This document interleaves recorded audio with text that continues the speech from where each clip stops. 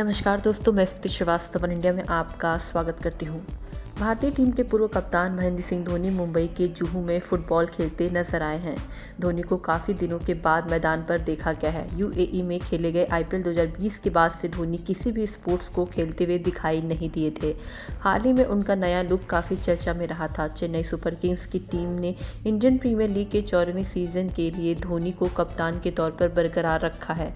IPL 2021 के लिए 18 फरवरी को चेन्नई में ऑप्शन होगा। बताते सोशल मीडिया पर वायरल हो रहे वीडियो में धोनी धोनी फुटबॉल के मैदान पर नज़र आ रहे हैं। धोनी ने शॉर्ट्स और टी शर्ट पहन रखी है और ब्रेक के दौरान वो घूमते हुए दिखाई दे रहे हैं।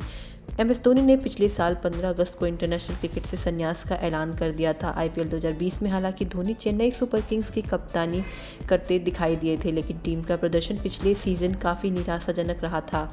आईपीएल के इतिहास में सीएसके की टीम पहली बार प्लेऑफ में पहुँचने में नाकामयाब रही थी, जिसके बाद माना जा रहा था कि एम धोनी का ये आई का आखिरी सीज़न होगा।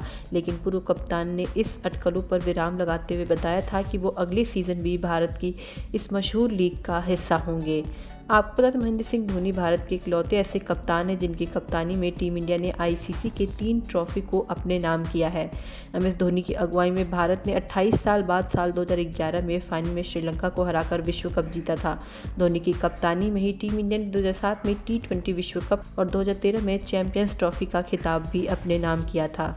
बता दें आईपीएल 2021 के लिए ऑक्शन की तैयारी पूरी हो चुकी है। 18 फरवरी को चेन्नई में ऑक्शन होगा। चेन्नई सुपर किंग्स की टीम ने इस सीज़न की शुरुआत से पहले अपने छह खिलाड़ियों को रिलीज़ किया है, जिसमें हरभजन सिंह, पीयूष चावला जैसे प्लेयरों के नाम शामिल हैं।